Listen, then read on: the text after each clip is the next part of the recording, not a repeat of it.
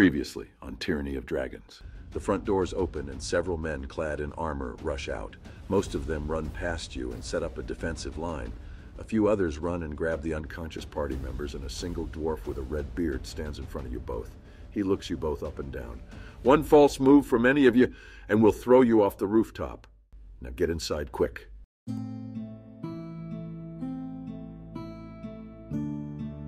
Good evening, gentlemen. Are you ready to continue? Holy shit, that was close. I thought my days as Swolenald were over, and we've hardly begun this campaign. Yeah, I thought we had that fight in the bag. What went wrong? Allow me to recap for you, Joe. Maybe someone else should. Check it! We had saved that sweet ass broad Lilliput Lillian, from the lizard freaks, and we're walking through a forest when the elf chick not a chick. overheard some shit not worth mentioning. We came to a puddle on the path. I walked over carrying Louise, Lillian, getting a quick feel of each other's nipples as we did. The elf chick not a chick. barely made it over when she got herself wet at the sight of my pulsing muscles.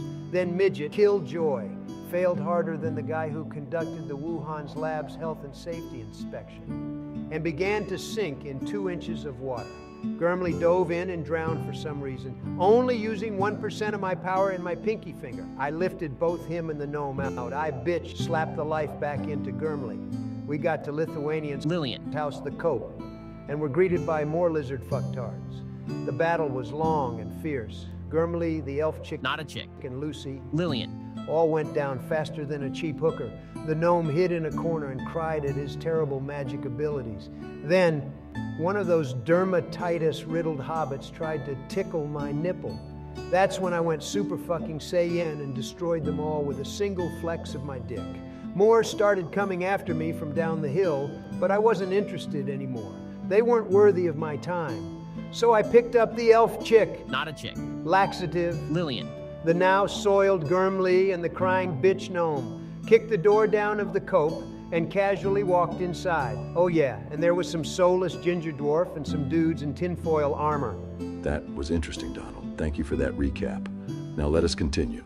The dwarf steps aside and gestures you in. As you both hurry forward, you see him grip his warhammer tightly. You notice his eyes are fixed on something behind you. The guards carry your unconscious party members. One has Lillian over his shoulder, two have one of each of Gurmley's arms over them, and his feet drag along the dirt. It took five guards to lift Swolnald. His head flops from side to side as the guards struggle with his immense size and weight. To think it takes five guys to carry my hulking mass of perfection. Two of them just to carry my dick. You're standing in a large stone courtyard. Moss over grows on many of the walls. Small archways, some with wooden doors, surround you. At the far end of the keep, you can see a tall tower, with the moon slowly coming in and out of focus as smoke continues to engulf the town. The dwarf is seen barking orders at the guards while keeping his eyes fixed on the approaching mass. Quickly now, get the wounded to the infirmary. I want archers up top and get that gate closed now. With a metallic clinking sound, you hear chains moving as the doors begin to shut. You can see into the darkness and smoke due to many torches being held by what looks like 20 or so kobolds. Their teeth bared, their spears or daggers glint off of the small fires, and all of them cackling. Their pace is fast. When they're only 15 feet from the gate, you hear a snarl, quite audible over the kobolds. They come to a complete stop and go silent. Just as the doors close, you see a set of piercing red eyes, long teeth, and blue scaly skin. I want Sharpen and Bama to roll a constitution check. You both feel a wave of fear unlike anything you have felt before. Your bodies shake at what you saw. You try to control your breathing to stop yourselves from fainting. The dwarf notices your panic. It's all right, lads. Nothing is getting through that gate. Did you see that just now? What was that? would I have seen this thing before? Roll me a history check.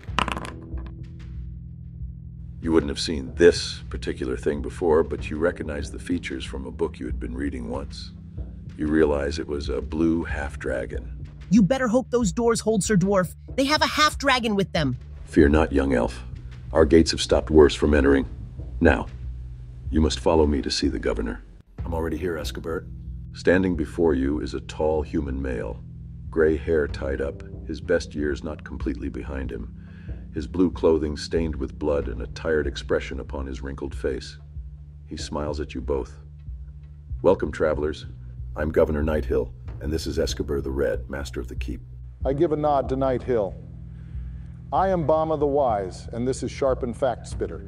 We need to see our companions and make sure they are all right. Yes, of course, but I have seen your friends being brought in, along with one of our own. They would be attended to right now by our clerics. Best to leave them, just for now. I have some questions I would like to ask you. We have some questions for you as well. Firstly, just what is going on in this town? A grave expression falls over Nighthill's face. It started around midday. A blue dragon came from the skies and began wreaking havoc on us. It tore our homes apart and brought the elements of lightning with it. While we did everything we could to attempt to stop it, we were then attacked from the ground. Hordes of kobolds killed so many of our people and set fire to our haystacks and houses. There were also another group, all wearing black robes. In all the chaos, we lost many good soldiers and more civilians than we have been able to keep track of. The best we have been able to do is to get everyone into the town's three most defensible strongholds the mill, the temple, and here. It was a coordinated attack. The dragon and kobolds are working with the cult of the dragon. Our latest reports tell us they are taking every piece of wealth we have. Some of the robe wearers have been seen leaving the town once they have taken their fill. I would give anything to have one of their leaders here right now. I would get all the answers I seek out of them. Escobert grips his warhammer again, looking furious. Try to remain calm, my friend, as Nighthill lays a hand on the dwarf's shoulder. I have a question for you two. I saw you from the tower fighting those kobolds, and I can tell you all possess great abilities, of which we could do with. Would you be so kind as to use them once again and help the townspeople? I don't know how much more we, and I gesture to myself, and Sharpen can actually help with. We have used up our magic and require to rest for a long period of time. Our companions are also badly beaten, and they too would require a long time to recoup. Hmm. The governor dips his head slightly with his hand over his chin, stroking his beard. Perhaps we can help with that. First, go see your friends. The clerics should have healed the worst of the injuries, then head through that door over there. He points at a particularly small-sized door. We have an alchemist. Bit of an odd fellow, but a genius with potions. He may be able to help you. After which, come see us, and we can go over what we require from you. Thank you. We will be back shortly. And I head in the direction where they took the others. Governor, has there been any reports of a female elf with long red hair seen in this town? The governor ponders for a moment. I'm sorry, but you are the only elf I have seen, let alone heard of today. I shall ask my guards to keep an eye out, though. I catch up with Bama and head with him to the infirmary. You seem oddly concerned for the two we traveled with. You didn't strike me as the type who cared for others, or at least those two. I feel somewhat responsible for what has happened to them and to Lillian. And for that matter, yourself. Had I not been blinded by pride and just allowed myself the lack of dignity to be carried across that stream, we could have reached the keep before they closed up and might have not had to fight those kobolds. I stopped walking for a moment and bowed deeply to Sharpen. Please forgive me. You had nearly died as well. I put a hand out to Bama. All is forgiven from me, Sir Wizard. Mistakes were made, but the others will be fine, and so no harm, no foul. But perhaps in future, we avoid these situations and trust in each other to help. It is something I should have considered during that fight. I shake Sharpen's hand. You seem to do everything you could. Not everything. I still had enough magic to heal someone, but I selfishly held onto it for myself. From now on, I shall think more of the ones who head straight into danger. You reach a door with a sign of a medical cross over the arch. Inside are several beds, most taken with unknown people, blood stained with limbs missing. On one of the beds, you see Lillian, eyes closed. Oh, please don't be dead. I rush forward towards her side. As you do, Swolnald grabs you by the back of your cloak, lifts you off the ground, slams you into the wall, and pins you by your throat. I want you both to roll a strength check. What the fuck? Hold up. Why is he doing that? And why did you not describe him being there? You spoke over me before I could finish my sentence. I was going to say, Swolnald and Gurmley are both standing at the other end of the room. As for Swolnald's action, I passed Donald a note to let him know what happened to Lillian. And he asked me if his character could do this. Come on, Brock, let's roll, baby. Well, what is the meaning of this? I hurry forward. Swole, stop this. I run at Swole and attempt to pull him off Bama. Then you two can roll me a strength check. Donald, one more time from you as well. Gurmley is unable to budge Swolnald and Bama. You just hang there, choking, several feet off the ground. You fucking caused this. You and your damn weak ass. I should have just left you to drown. But because we spent time on you, Lillian, I go quiet and tighten my grip. But the clerics, couldn't they do something? The clerics were unable to save her. They went to find her family. We said we would wait here with her. Please let him go, Swole. The damage has been done. Don't make me use this. And I draw my longsword and point it at him. Joe, roll me a persuasion check. Donald, roll me a straight d20. I loosen my grip and allow Bama to slide to the floor. Then I place hands on either side of him and lower my face to his. You lose me another babe, and I'll kill you where you stand. One of the clerics walks into the room, looks to Gurmley, and shakes her head. It seems none of her family made it to the keep. They're either still in the town, hopefully having found somewhere to hide like the temple, or she doesn't finish her sentence and walks over to Lillian, lifting the sheet and draping it over her face, then leaves the room. I'm sorry, everyone. I was foolish and let my pride get in the way. I make a promise to you today that will never happen again. I throw myself down onto my knees. Your words mean nothing to me, gnome, and I walk out of the room. Let's get out of here. I begin walking towards the door. I say nothing and also leave the room. I take a moment to reflect, then I will walk out of the room, but not before resting my hand on Lillian, saying quietly, I'm sorry. The four of you stand in the courtyard. You can hear the sounds of raging fire outside the keep, and you can see many civilians and guards moving around inside. There is no sign of Escobert or Nighthill. We should plan our next move. You should shut the hell up. Swole, Bama isn't entirely to blame for what happened. I share responsibility as well. I could have healed Lillian, or either you or Gurmley, but I chose not to. If you're trying to make things better, Elf, you're doing a shit job. Why did you not heal anyone? I didn't know how long this situation would last, and I needed to be well enough to save my friend. She is more important to me than a group of strangers I only met today. Well, we have been thrown into this together. There was no intention of being a group, but we have become one of sorts. Perhaps once the danger is past, we go our separate ways. I agree. I still have answers to seek here, but yes. Once these enemies of the town are dealt with, I shall seek them alone. Why bother waiting until then? I can't rely on any of you, and these people need saving. I'll do it myself. And I walk away. Wait, Swole. Go fuck yourselves. For the time being, Swolnald has left the group. He has gone back to the infirmary. For now, let's plan our next move. Any suggestions? I've been thinking over what we know so far. There appears to be two groups the cult and the kobolds, plus the dragon. And the half dragon me and Bama saw outside the entrance to the keep. They attacked during the day, killing and stealing as they go. They have already cleared the southern part of Greenest. There are two names that came up when I heard those cult members talking Mondath and Cyanwrath. These may be the leaders who could also be wearing purple. The governor wants our help, but we don't know yet with what.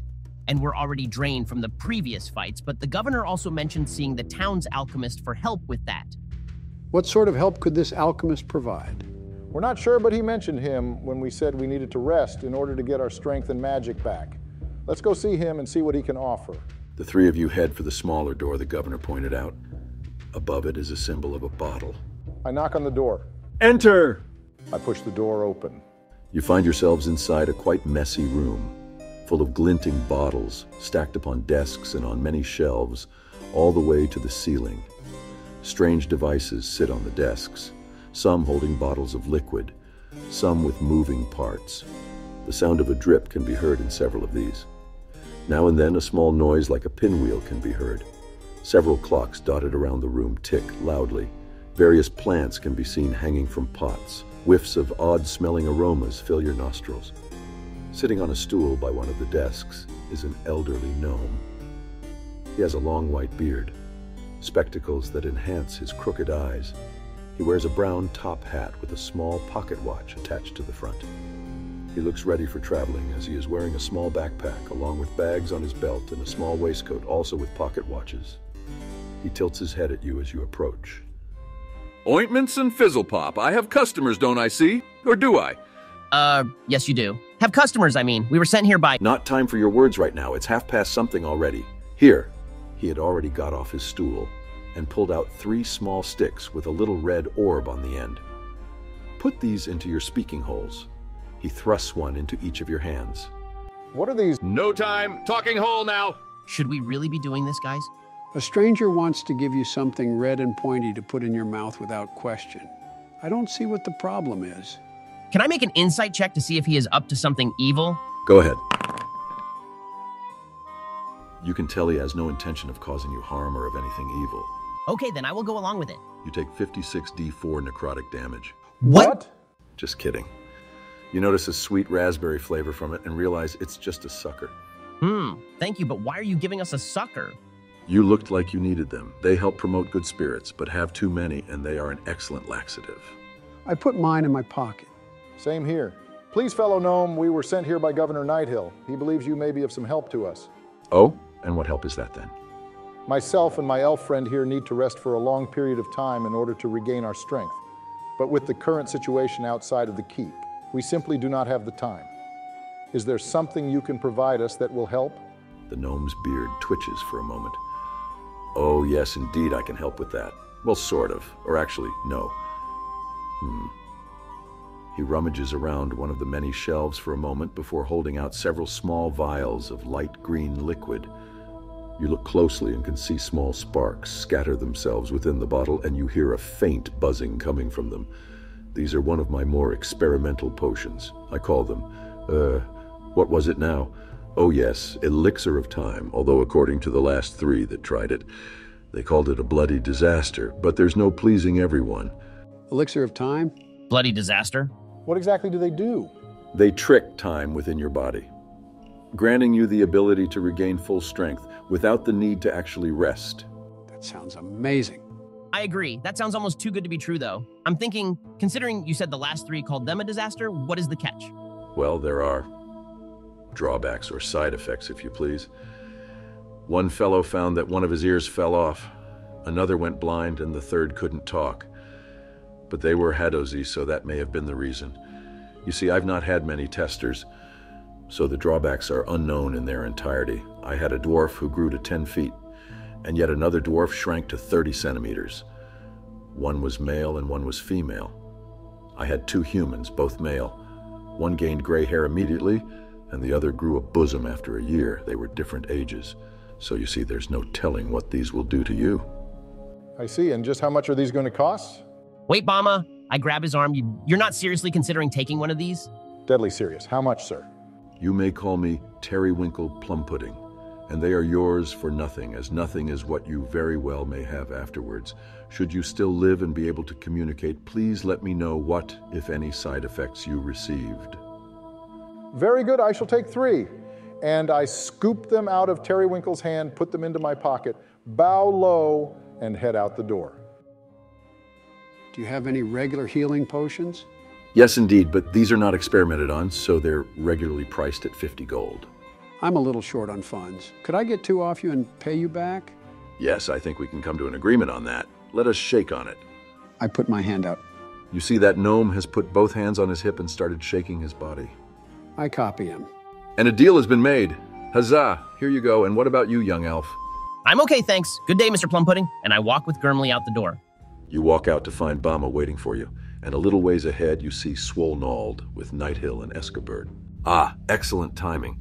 We were just about to explain the plan to your Goliath friend here. I already told you, old man, I'm working solo. I have no friends in this town aside from my mighty great axe. We need all the help we can get. It would be in the people's best interest that you work with these three. I don't respond to this, but instead lean on my axe and give Bama a death stare. Tell us what you need from us, Governor. Come with us. They lead you to the base of the tower. Through the door, up a spiraling set of stairs, and you stand on the parapet.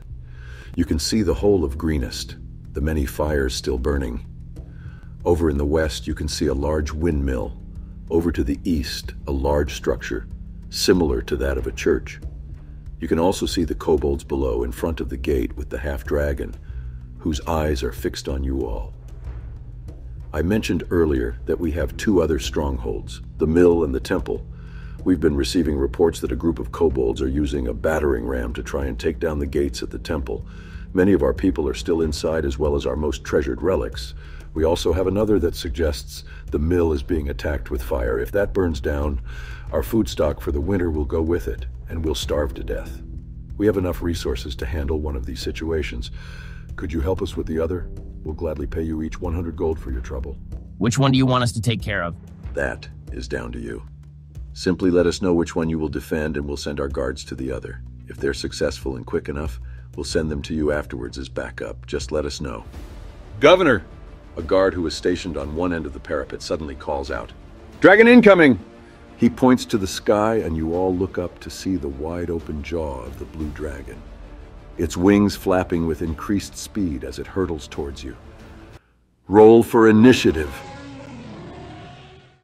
Thank you for watching the latest episode of President's Play Tyranny of Dragons. Before you go, I have a request. The party were given two options for possible quests they could take part in save the mill and save the temple. Of course, they're going to be a bit preoccupied, so I'd like to free them of this choice and pass it on to you. Please comment below which one they should do. By the time the next episode airs, we will tally up the votes and announce which quest they will attempt. You can also take part in the poll, which will be posted an hour after this episode is aired. You could also join our Discord, link below, and post your vote there. Of course, depending on how the next episode plays out, there may not be a party left to take on the quest. Until next time, viewers, good evening.